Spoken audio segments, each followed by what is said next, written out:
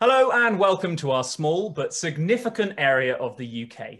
The Lizard Peninsula in Cornwall is an area of outstanding natural beauty on the southerly tip of the country. Today, we're showcasing the importance of farming for biodiversity while sustaining productive and profitable livelihoods for the farmers working in this unique location. Joining us, we have David Oates from Resiwick Organic Farm. He's a seventh generation award winning organic farmer managing 1,200 acres of grassland, cropping, woodland, and heathland. The environment is at the heart of every decision made on his farm. Sarah and James Richards run two farms, Treguminion and Bruggan, which includes a pedigree herd of ruby red Devon cattle, a flock of pedigree sheep, and pick your own Christmas trees. Since joining the business, Sarah has also started selling beef and hogget boxes, allowing the farm to sell its high quality, sustainably produced meat directly to the public.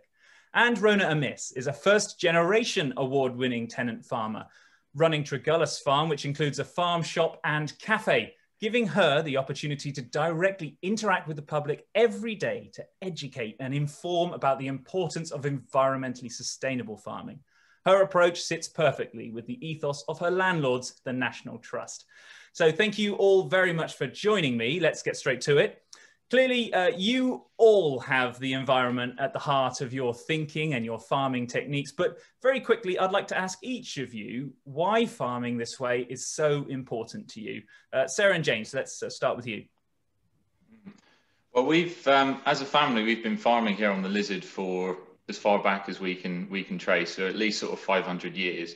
So we we feel very much part of the landscape ourselves. So it's kind of incumbent on us to then try and look after it and cherish it and and uh, improve it um, for future generations. I mean, we've we've recently had a child ourselves, so it gives you a new kind of outlook on life, and you you, you do try to then think and plan ahead for the next generation, and try and at least give them as good an environment that you grew up in and I, I grew up on a on an organic dairy farm actually. And um my my mum particularly was very keen on making sure that everything was very natural that we worked with the environment instead of against it. And so coming to the farm and joining James it's kind of something that I've I've come from that background and want to continue it working with James to make our farm that way as well. Great. And Rona how about you? Um, I think as a first generation farming I um, joined um, the agriculture industry when I left school. I always wanted to farm. I grew up in the country and I think I was completely shocked about modern agriculture. It's quite a long time ago now. And it was just that the organic movement was starting to get going. And I found it was a natural fit, what I wanted from farming. And so I've always been involved with environmental style of farming.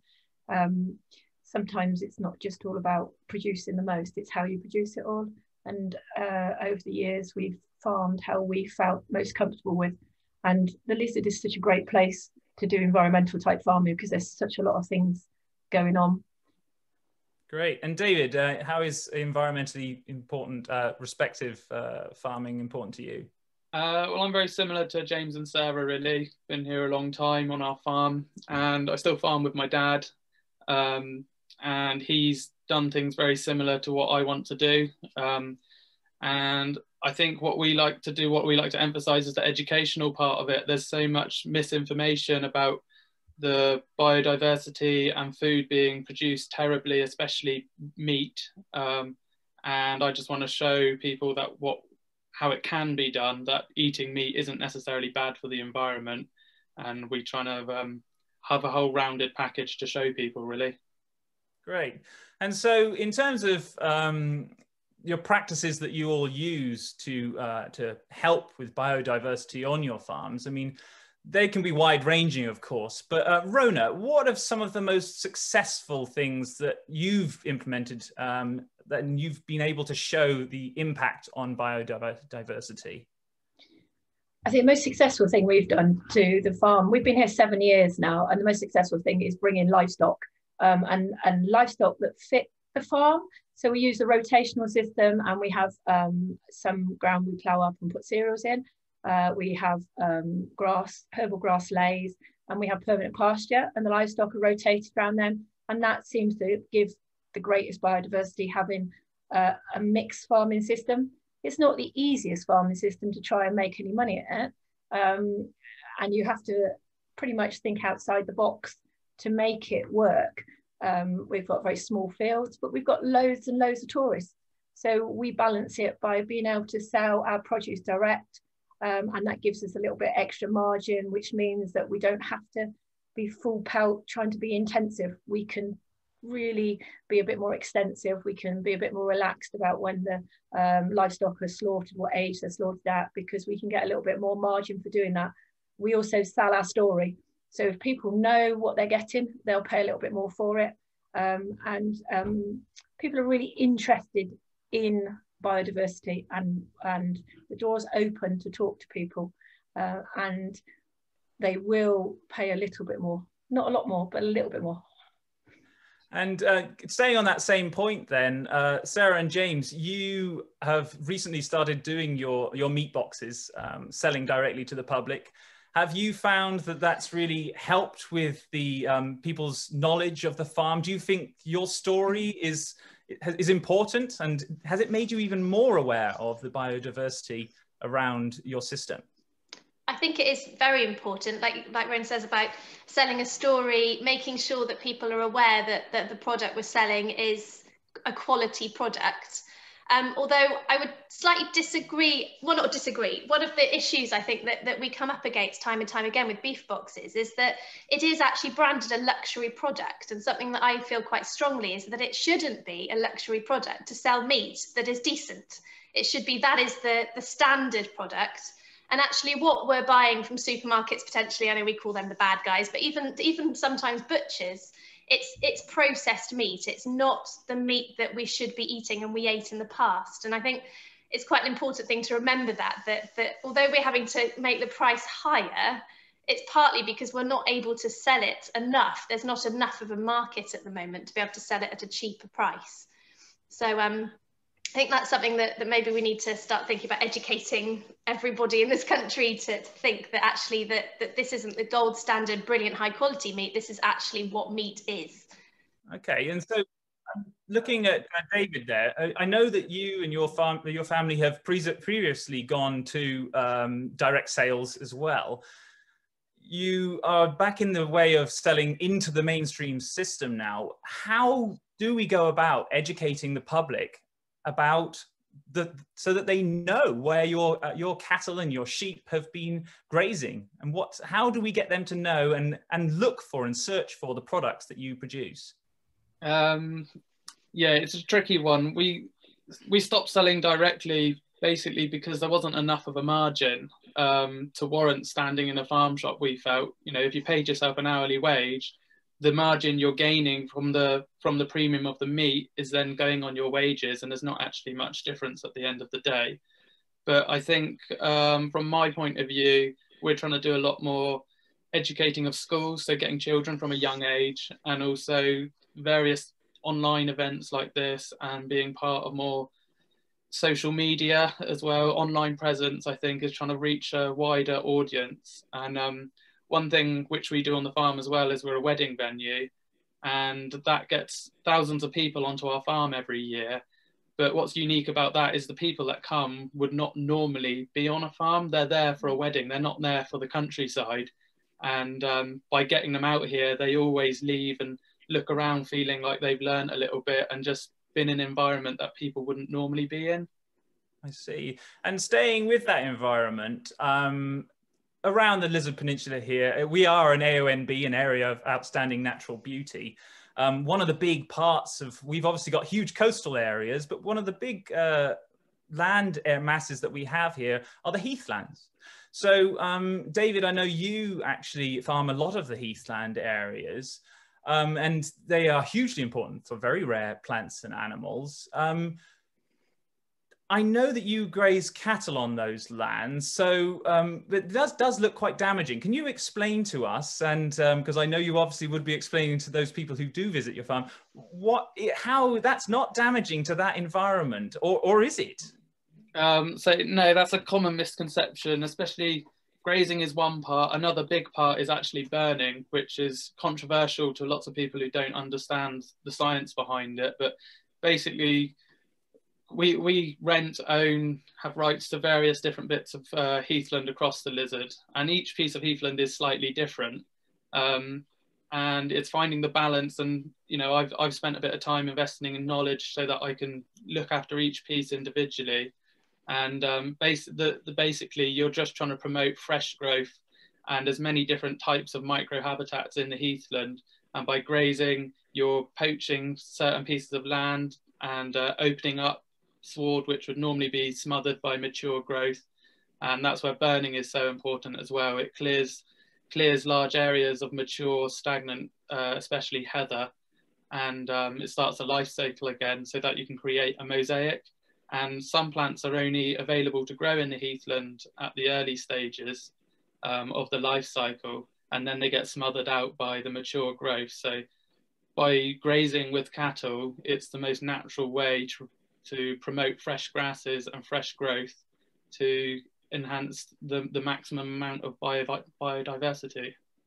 But I mean, naturally, you wouldn't actually have those cattle on those heathlands, you know, back long before farming even existed. So how would it have been done then? Like, how can we still justify farming on that heathland when originally it wouldn't have been the case? Uh, well, it would have. It wouldn't. It wouldn't have been beef cattle, but it would have been uh, pre predecessors of the um, of what we now farm. It would have been deer, horses, um, and things like that. So, but they also, before we had so many people, it would have been larger herds. So they would have not just stayed on the Lizard Peninsula. The herds of these animals would have would have spread a lot further.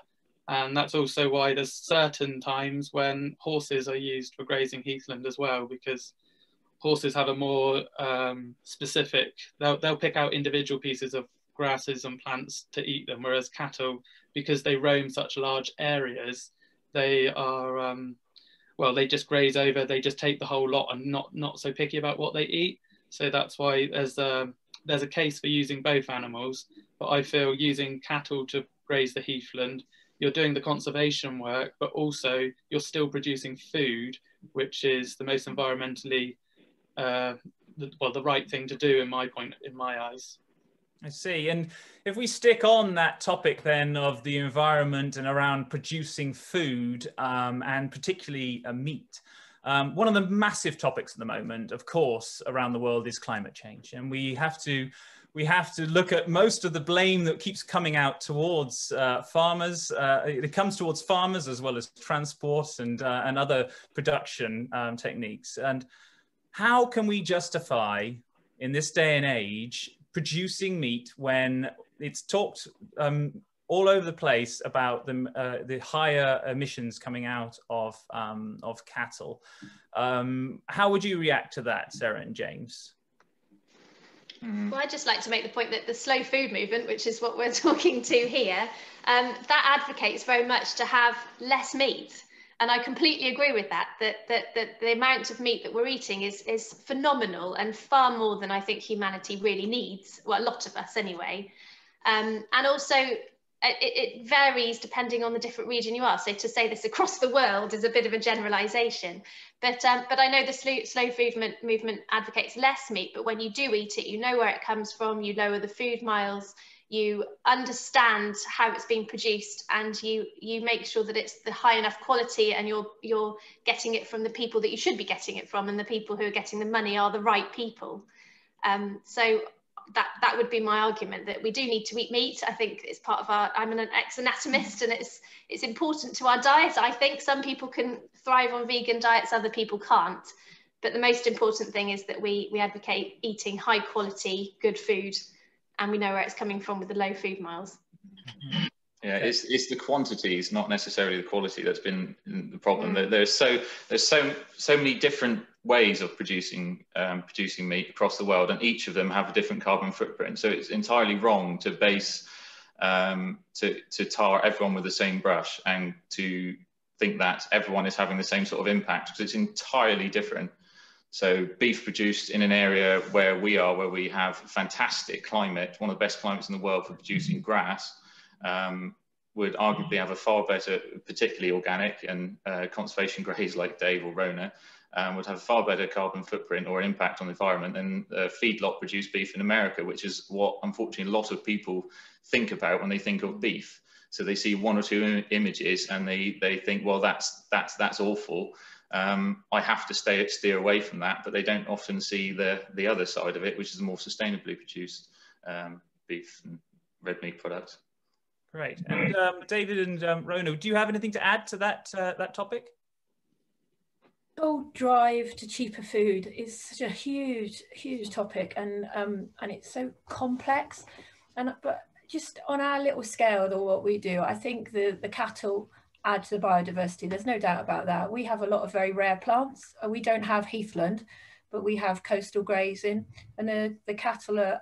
Um, really critical in preserving those rare plants and these are plants that have their own biodiversity action plans on because they are so rare um, I think we need a balance, don't we? And like uh, Sarah says, um, perhaps less meat, but better meat. I'd be very loath to eat broiler chickens and things that have been fed soya and that, but you know, a nice piece of lamb that's been produced properly and adding to the biodiversity, um, I think is an important part of our diet. But it comes down to David educating everybody really, so we can make better decisions. and and um, I get a little bit tied up about price and things like that. And that wasn't quite what I meant about charging more to our customers, but it's us having by direct sales, we have more of a, a margin because our mm. prices mm. are still dictated by the supermarket. Mm. They set the mm. price, people don't buy from us if we double the price. We're not that clever at marketing, but we can sell it at the same price as the supermarket, but we have a better margin because we've taken the, the supermarket out of the equation. So we get all of the margin rather than just um, a tiny proportion of it. That, but it's such a dilemma with it all. I feel we need livestock for biodiversity, um, and I think livestock is absolutely crucial on the lizard to keep the biodiversity here. But climate change is so complicated. it certainly is. It certainly is. Now, um, really sticking on the topic that you just brought back up in terms of the prices of things, uh, do you feel, considering the work that you do, um, in many ways, I would say you were probably stewards of the land, um, park rangers, if you might, if you may. Uh, do you feel like you're paid correctly for the work and for your produce uh, that you produce? Uh, Rona, I'm going to stay with you. Um, I think one of the things that we make a mistake in in farming is that everybody's on very, very different um, type of setups. Um, we're what's called a farm business tenancy. We have pay a very high rent. That's because me and my husband don't come from a farm. We've um, and so it, it's very different from someone that's on generational farms, but some people have mortgages, some people don't, and lumping us all mm-hmm. together is very difficult. If farmers looked at a rental equivalent, a rental equivalent of everything they do on a, an FBT rent like I do, then everybody would be way below the minimum wage. And it and but we have this real difficult in farming looking at that we should be making a profit and there is no reason why we shouldn't be paid like anybody else being paid a minimum wage but we find um, that quite a difficult subject in the farming industry and it's something that is starting to be tackled but it's something that we really need to tackle and um, our industry leaders find it very difficult with their negotiators in supermarkets, um, which are dictating prices. Um, it's a difficult one. I think me and my husband, we wanted to farm and we never thought we were going to make our fortune. Um, I don't suppose we'll ever be in a position to leave any land or farming to our children, but we, we take what we want out of it. So we're happy with what we're doing. Um, and um, certainly running a tea shop and a diversified business helps. Um, we've got quite a large family and I think we have a really good lifestyle, but we're not going to be leaving uh, generations of farming there. They've got to go make their own way, which is fine. And that's what a lot of people are like and that, but, um, and we're happy with what we get, but it is something the farming industry needs to address about how we maybe have a little bit bigger part of the pie rather than all the middlemen and the processors taking all of it. What's really frustrating, I don't know if you find this, Rona, too, is that we also produce cuts of beef that you just can't get in the supermarket. You don't really get briskets and shin. They get stewing meat, but half the fat's been cut off, which is most of the flavour, in our opinion. Um, and and it's such it's such a frustrating thing to see people going and paying probably the equivalent of one of our briskets on processed meat that probably won't feed them for very long and it's all packaged and it's been aged in the package and it's gone it's come from god knows where and then we're producing this delicious brisket that would feed a family of four for three days um, but I just don't think people realise it's out there to mm. actually going to actually go and find it is, is difficult. Um, so again, it's, it's about marketing and education, and it's not something that farmers are, mm. are well versed at. I think we're getting better, but it is hard to get that message out there to people.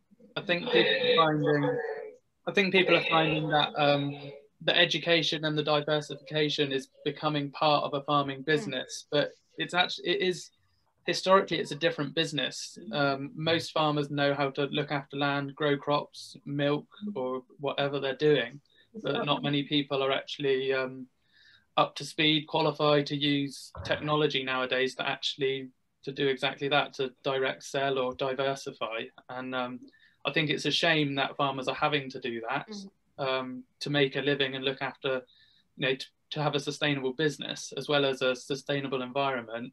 Um, it's a shame that farmers can't just look after the environment and produce food sustainably and make a living.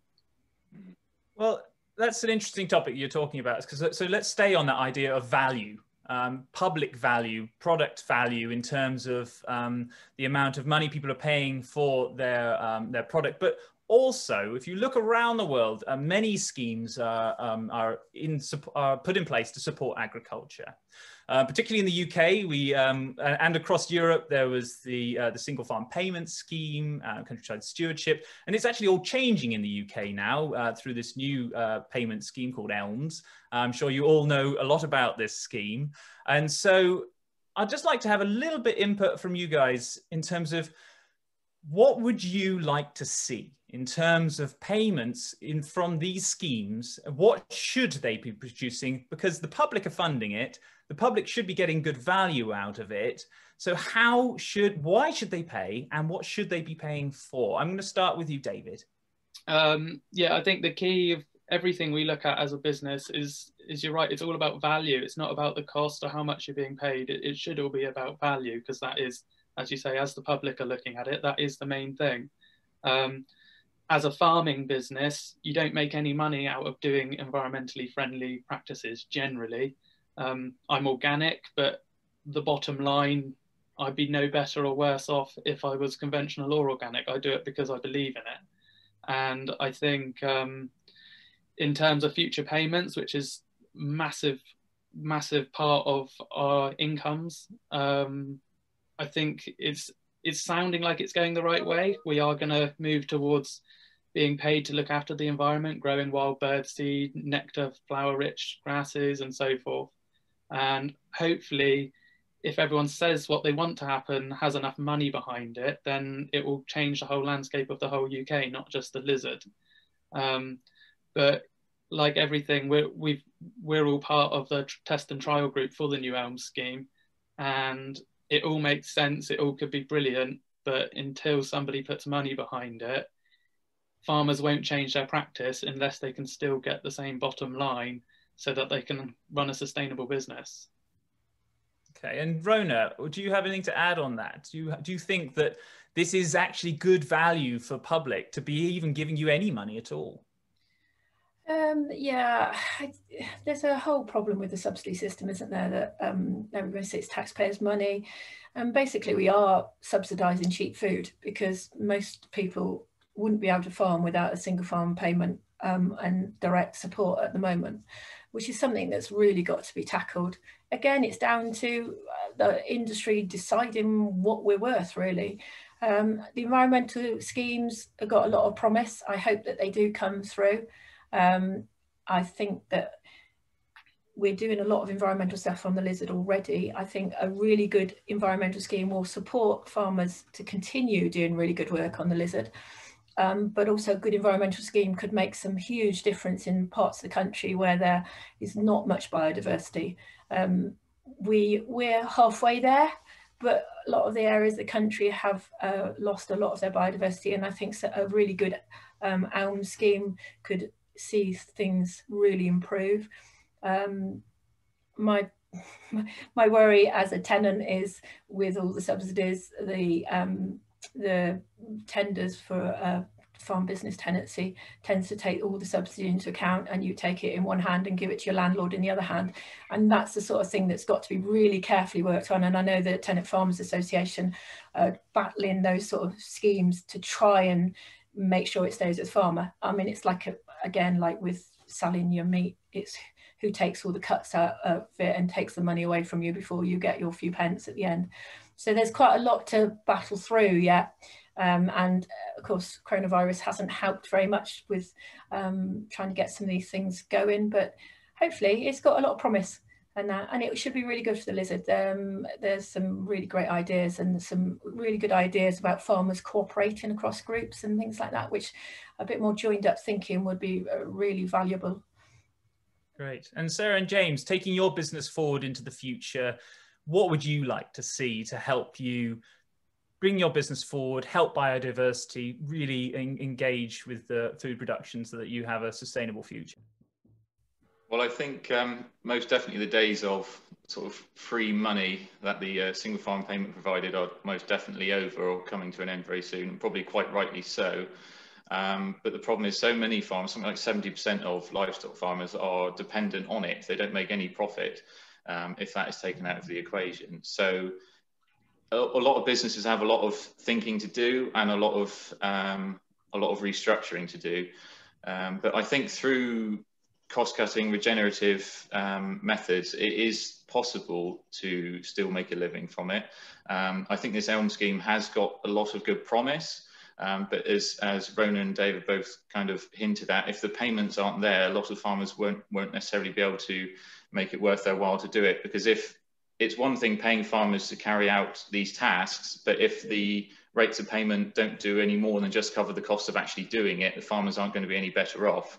So I think the risk we have as a country is that we could end up seeing a split. Some farmers just say, well, I'm not going to bother. Uh, a lot of farmers could go out of business. A lot of land could come on the market. You could see actually farmers getting larger and larger and more intensive.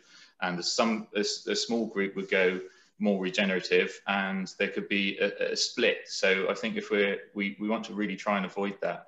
But for us personally, um, I think going more traditional and making them making the most of any environmental schemes that we can help biodiversity and hopefully furthering our direct selling efforts will be the way to go for us. Because you a business you, you cannot expect to survive forever on on handouts. It's just it's not going to last. Like I say with with the threat of brexit and a pandemic now as well who knows what if we're going to get any money at all. So i think a lot of farmers are going to be in for a big shock if they if they don't start getting prepared for it now. I think Rona's made an excellent point saying it's such a shame that we can't actually run our businesses without the subsidies, that it's so driven by ex imported prices and imported mm. food that, that we, we physically can't run a farm without, without those subsidies. Um, and it would be great if in the future if we could start to do that. I think we're not on um, we're not on a level playing field. That's the problem. That's why mm. this I think there's so much importance on the new trade agreements with other countries around the mm. world.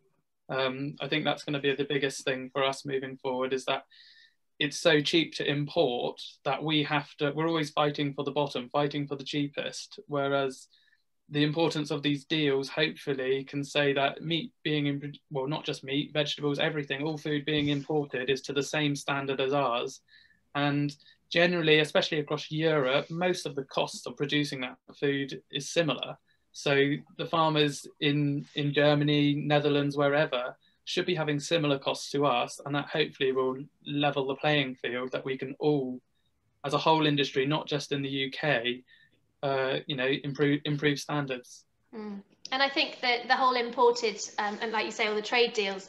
What my big worry is that it's going to just push our meat even further into this luxury brand, which then immediately cuts out half of our population because they don't either feel they're good enough for it or worthy of it, or they just can't afford it yeah which is a real shame they should they should it should be accessible to all of the people around us locally Great.